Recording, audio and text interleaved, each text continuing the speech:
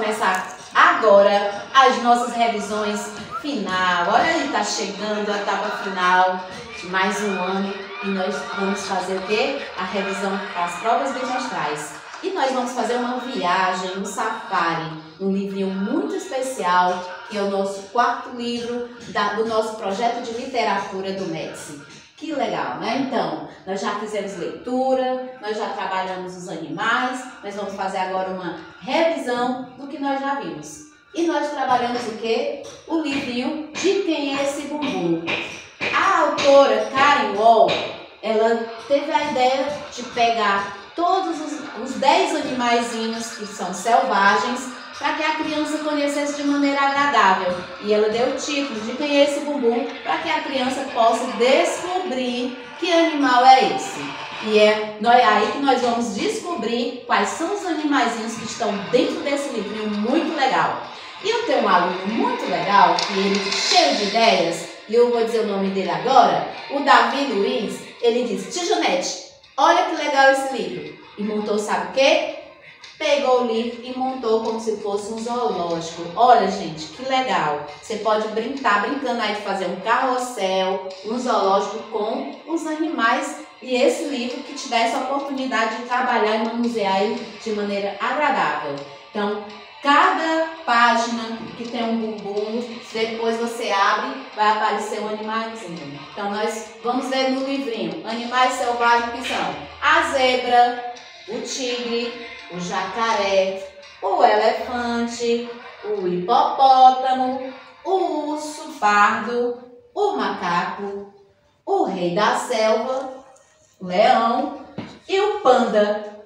Não, dez animais. Vamos contar. Um, dois, três, quatro, cinco, seis, sete, oito, nove. Oxe, tá faltando algum?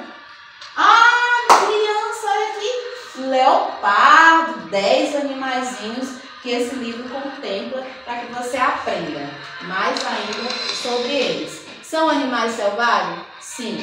Por quê? Porque são animais para a gente criar dentro de casa, são animais para viverem soltos e livres na selva. Né? A, a autora ela teve toda essa ideia de passar para vocês né, a característica desses animais. Nós vamos fazer a interpretação. Mas antes, vamos lembrar as vogais? Quais são? A, E, I, O, U, O, I, E, A. Vem criança, vem, vem brincar. Eu aprendi a ler, aprendi a cantar. Eu estudo na escola, aprendo na academia. Respeito a minha mãe, o meu pai, a minha tia. A, E, I, O, U, O, I, E, A. Vamos aqui lembrar as vogaisinhas. A, E,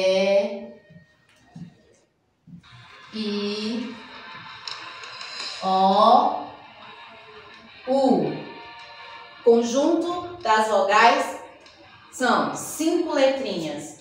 Nós temos aqui as cinco letrinhas e nós vamos pegar um animalzinho para trabalhar exatamente o nome dele, que é exatamente o leopardo, uma mistura de leão com a pantera. Olha que legal. Então, nós vamos escrever aqui leopardo.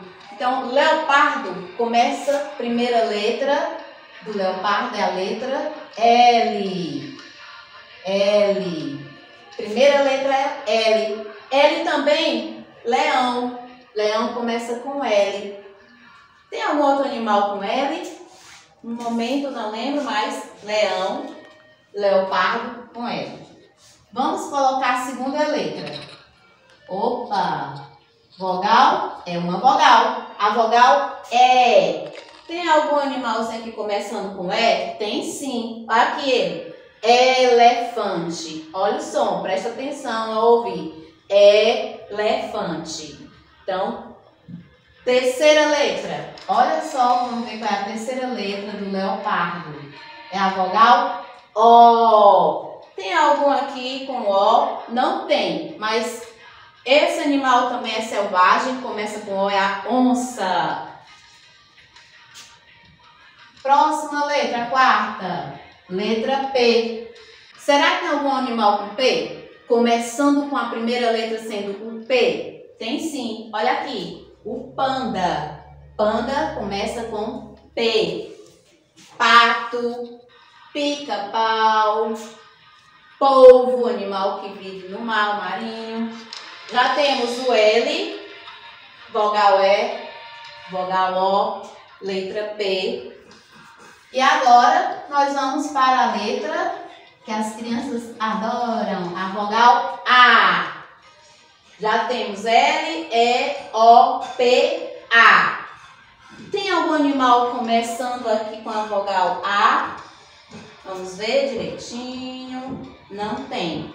Mas nós temos um animal aqui no Brasil que faz parte da fauna brasileira, que é a anta. Anta começa com a vogal A. Próxima letra.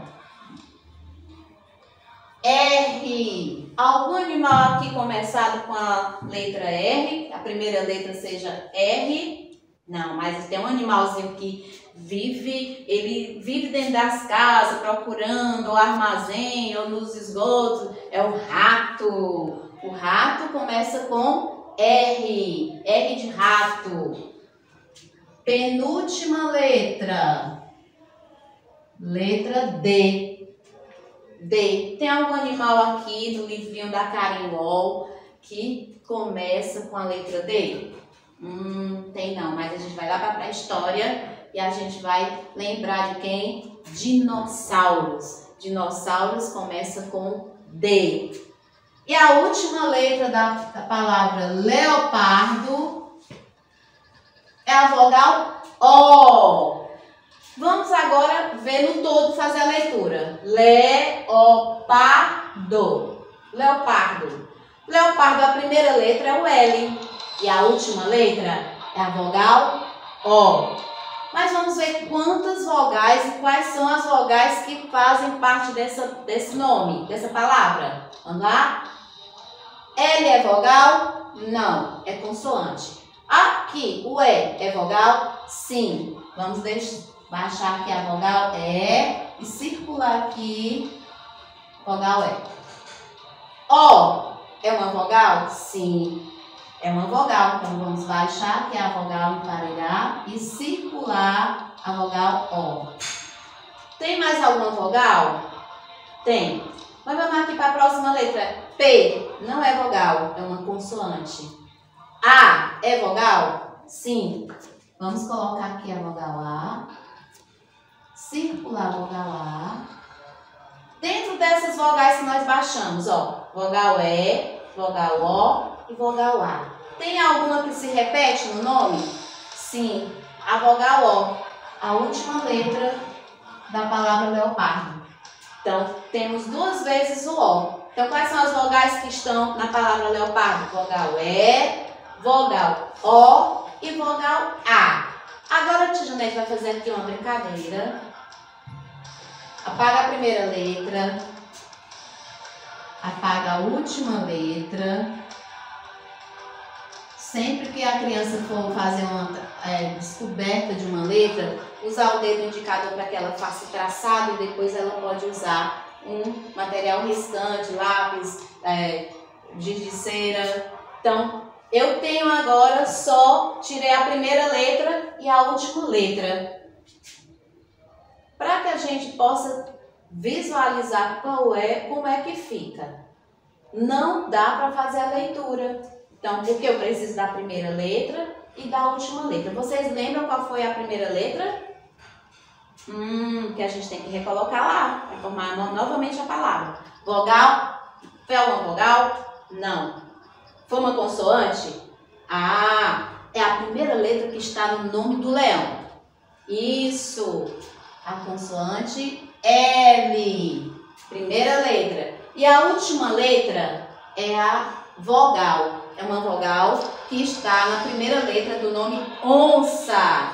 Onça. Isso. É a vogal O. Então, criança, façam o traçado dessa, da, da palavra leopardo.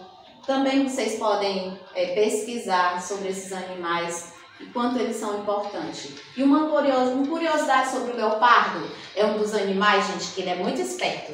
Então ele é difícil de ser pé. Por quê? Durante o dia, ele dorme, sabe aonde? Nos galhos das árvores. tonte, uma soneca. E à noite ele é um animal noturno. Por quê? Ele adora caçar à noite. A a espertice dele é tão grande que ele procura dormir durante o dia e à noite caçar suas presas. Então, é uma, uma das, das características do leopardo. E sem contar que ele parece com uma onça. Não é uma onça. É um leão, é uma mistura de leão com pantera. Então deu leopardo. As manchas dele, se você olhar bem, são diferentes. São rosetas, como se fossem umas rosas, né? E a onça mesmo são manchas diferenciadas o modelo. Então, vamos fazer essa diferença para que a gente possa entender quem é a onça e quem é o leopardo. Legal? Então, até a próxima revisão e estude para que a gente possa ter, ou melhor, ser positivo nas suas avaliações, tá? fazer sempre com que a criança tenha segurança quando vai fazer suas atividades. Até a próxima. Tchau!